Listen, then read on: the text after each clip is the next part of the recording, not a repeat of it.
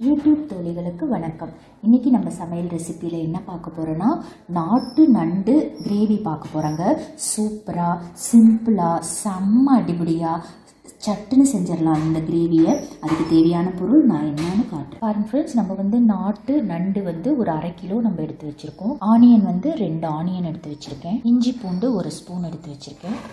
தக்காளி ரெண்டு தக்காளி. பச்சை மிளகா ரெண்டு பச்சை மிளகாய் எடுத்து வச்சுருக்கேன். நான் மிளகாய்த்தூள் போடும்போது நான் காட்டுறேங்க. இப்போ வந்து இந்த கிரேவி எப்படி செய்கிறதுன்னு பார்க்கலாம். நான் ஒரு ரெண்டு மூணு ஸ்பூன் ஆயில் ஊற்றிருக்கேன் ஆயில் வந்து சூடாயிடுச்சு. இப்போ கடுகு போட போகிறோம் கடுகு வெடிச்சிருச்சு இப்போ நம்ம ஜீரகம் கிடைக்கும் ஒரு அரை ஸ்பூன் ஜீரகம்.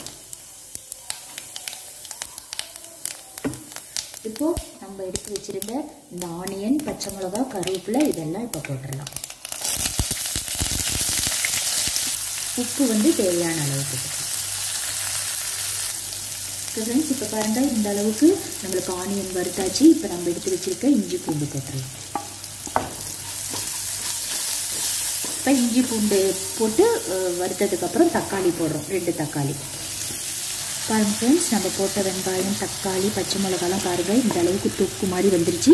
இப்போ இதில் வந்து நம்ம மிளகாத்தூள் போடலாம். ஒரு ஸ்பூன் மிளகாய் தூள் போல போட்டுக்கலாம்.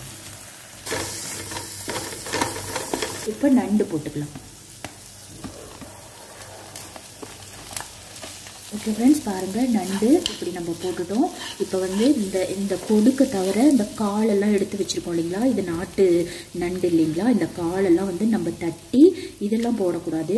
இது பாருங்கள் இது நல்லா புளிஞ்சு இதை நம்ம கீழே போட்டுருணும் இது இது இது வந்து நல்லா தட்டி இந்த இந்த சாரை மட்டும் நம்ம எடுத்துட்டு இந்த இதில் இருக்கிற இந்த சக்கையெல்லாம் நம்ம கீழே போட்டுருணும் அந்த கால் தட்டி வச்சு அந்த தண்ணி சூப் இருக்குது பார்த்தீங்களா இதை வந்து இந்த நண்டு இதில் ஊற்றிடணும்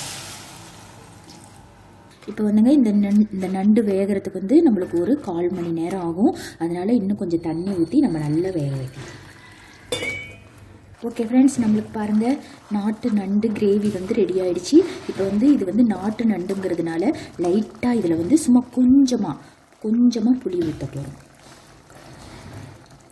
அடுத்தது கொஞ்சம் வந்து மிளகு வந்து இந்த அளவுக்கு நம்ம தட்டி வச்சுருக்கோம். இதை போட்டுடலாம்